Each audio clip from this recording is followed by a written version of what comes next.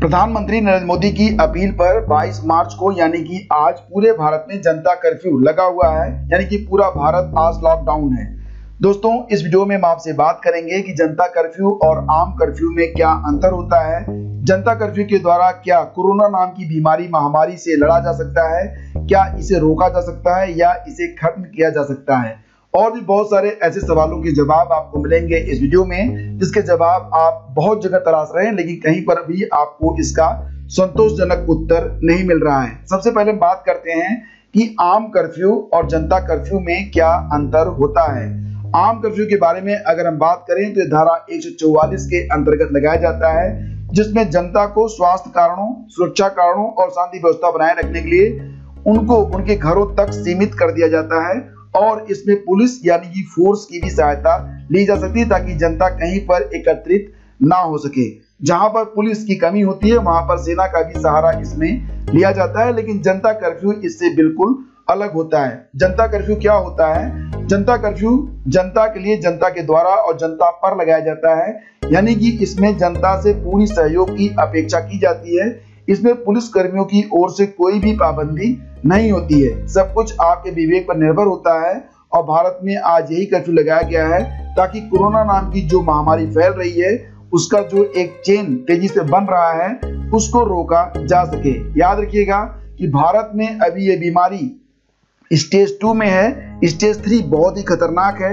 यह बीमारी stage three में ना पहुँचे इसके लिए ये जो है कर्फ्यू लगाई गई है। आपको बता दें कि जनता कर्फ्यू के लिए प्रधानमंत्री नरेंद्र मोदी ने गुरुवार को रात आठ बजे देश की जनता से अपील की थी, जिसमें कहा गया था कि अपनी व्यक्तिगत सुरक्षा और इस तथा कथित महामारी को रोकने और उसके चेन को तोड़ने के लिए 22 मार्च को सुबह सात बजे से रात नौ बजे तक जनता खुद ही अपने घरों से बाहर ना निकले। जिनका घर से निकलना बेहद ज़रूरी है और उनकी बेहद मजबूरी है तो सिर्फ़ वही लोग घरों से बाहर जाएँ। अभी तक भारत में कोरोना वायरस स्टेज टू में है, यानी कि बहुत अधिक मामले अभी तक देखने को नहीं मिले हैं। स्टेज थ्री बहुत ही खतरनाक है और स्टेज थ्री के बाद स्थिति इटली और चाइना जैसी हो सकती है। तो इस बीमारी से लड़ने के लिए ये कहा गया है कि जनता आज के दिन पूरा सहयोग दे, यानी कि अभी यह बीमारी अपने पाँव, जबकि पूरे तौर से भारत में नहीं पसार पाई है तो इसे यहीं पर रोका जा सके। इस बीमारी को और अधिक फैलने से रोकने के लिए जनता से सहयोग के लिए कहा गया है। याद रखिएगा कि कोरोना वायरस हवा में कुछ घंटे और ज़मीन पर लगभग चौदह घंटे तक रहता है। यानी कि अगर कोई व्यक्ति जो कोरोना से पीड़ित है, वो छींकता है और उसके संपर्क में कोई दूसरा व्यक्ति 14 घंटे तक नहीं आता है तो उसके संक्रमित होने की संभावना बेहद कम रहती है। इसलिए यह कर्फ्यू लगाया गया है कि 14 घंटे तक लोग अपने घरों में रहें ताकि इस चेन को ब्रेक किया जा सके। प्रधानमंत्री ने शाम पाँच बजे अपने घर की खिड़कियों, दरवाजों पर खड़े होकर ताली बजाकर अभिवादन और आभार व्यक्त करने के बारे में बात कही है। उन लोगों के प्रति, जैसा कि आप जानते हैं कि बहुत सारे डॉक्टर और स्वास्थ्य कर्मी हैं और पुलिस कर्मियों के साथ अन्य विभाग भी हैं जो आपकी सेवा के लिए अपनी जान की परवाह नहीं कर रहे हैं। हालाँकि कोरोना का खतरा उनको भी उतना ही बना हुआ है, फिर भी शांति व्यवस्था बनाए रखने और आपके स्वास्थ्य के लिए वो अपने जान की बाजी लगाकर काम कर रहे हैं। तो उनका आभार व्यक्त करने के लिए प्रधानमंत्री ने कहा है कि प्रत्येक व्यक्ति अपने घर के दरवाजे पर, खिड़कियों पर या कहीं पर भी ताली बजाकर उनका आभार व्यक्त किया मतलब कर सकें और साथ ही साथ अगर संभव हो तो कोई साउंड यानी कि जैसे थाली वगैरह भी आप बजा सकते हैं। दोस्तों, इसके इसके पीछे एक चिकित्सात्मक यानी कि वैज्ञानिक तत्व भी है।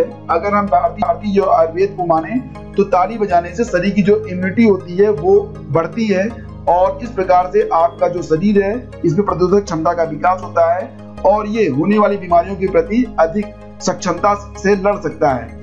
शंख और घंटे की ध्वनि से बैक्टीरिया और सूक्ष्म जीव भी नष्ट होते हैं, ऐसे उदाहरण आपको भारतीय आयुर्वेद की किताबों में मिलते हैं।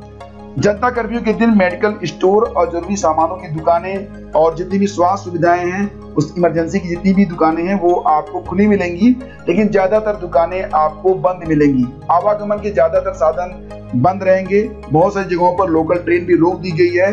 बस, ऑटो आज भी आपको बेहद कम मिलेंगे। केवल इमरजेंसी में ही ये जो सेवाएँ हैं, ये आपको उपलब्ध हो पाएँगी। दिल्ली, मुंबई, लखनऊ, हैदराबाद आदि शहरों में मेट्रो को भी बंद कर दिया गया है। तो दोस्तों, मैं आप लोगों से एक अपील करता हूँ और विनम्र निवेदन करता हूँ कि सरकार के इस आह्वान पर जनता कर्फ्यू का आप लोग पूर्ण रूप से पालन करें, ताकि हम इस महामारी से बच कर निकल सकें। साथ ही साथ हम अपने देश की, अपने परिवार की और सबसे ऊपर अपनी सुरक्षा को भी बनाए रख सकें और इस चेन को ब्रेक करने में अपना महती योगदान दे सकें। याद रखिएगा कि आप तभी इस देश के अपने परिवार के या स्व विकास में सहायता दे पाएँगे जब आप स्वस्थ रहेंगे, आपका जीवन बचा रहेगा। जीवन अनमोल है और यह आपका है और आप हैं तो आपका परिवार है, आपका समाज है और देश के लिए आपका योगदान भी है। सबसे पहले आपका स्वास्थ्य है, जिसके लिए जनता कर्फ्यू लगाया गया है और इसमें मैं आपसे सहयोग की अपील करता हूँ। बहुत बहुत धन्यवाद। जय हिंद।